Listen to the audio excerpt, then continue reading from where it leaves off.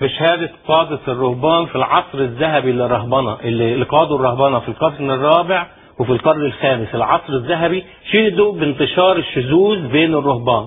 ال- منهم واحد اسمه إسحاق قس القلالي وده كان أب روحي ل 210 راهب بي- بيسمع اعترافاتهم وعارف أسرارهم في أربع أديرة. وشهد وكا- وك- بيقول كده إنه بيعزو خراب الأربع أديرة لوجود رهبان منحلين.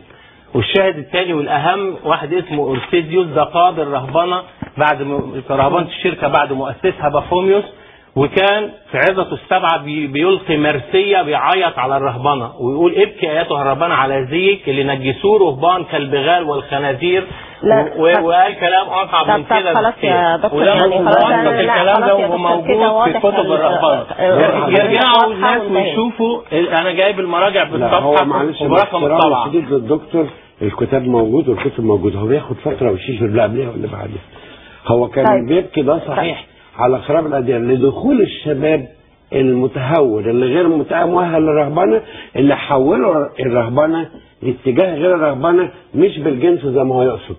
طيب.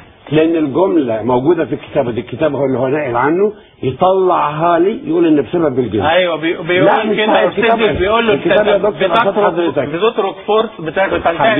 فرصة أيوه مكتوب لهم كتاب كتاب بتقول. على الرهبان إنك بتنتهز فرصه تختلي بها بهذا الصبي وتعطيه ما هو في هد ثوبك الداخلي حتى يسكب عليك الله غضبه يقصد إيه أكتر من كده. هيوضح أكتر من كده إيه؟